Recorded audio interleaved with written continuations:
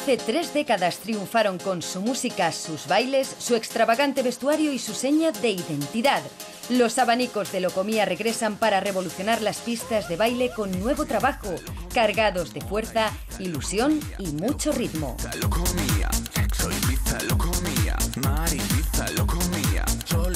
Han llegado dispuestos a reconquistar cada rincón, desde Londres hasta París y pidiendo sus deseos en la Fontana de Trevi.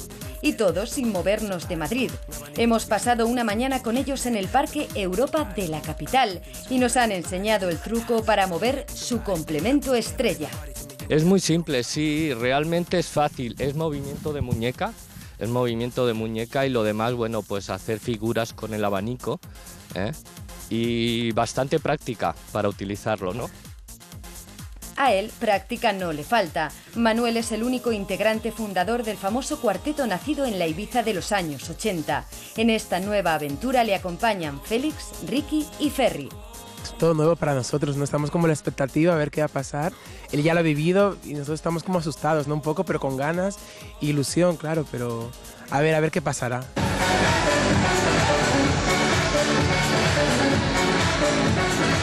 Lo que ha pasado ha sido que sus fieles seguidores les han recibido con los brazos abiertos.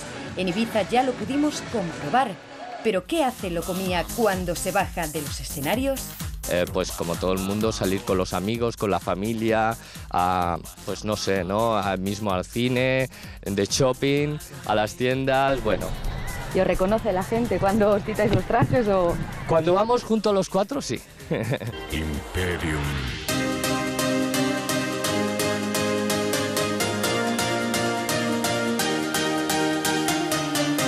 Han vuelto con nuevo trabajo y una imagen espectacular.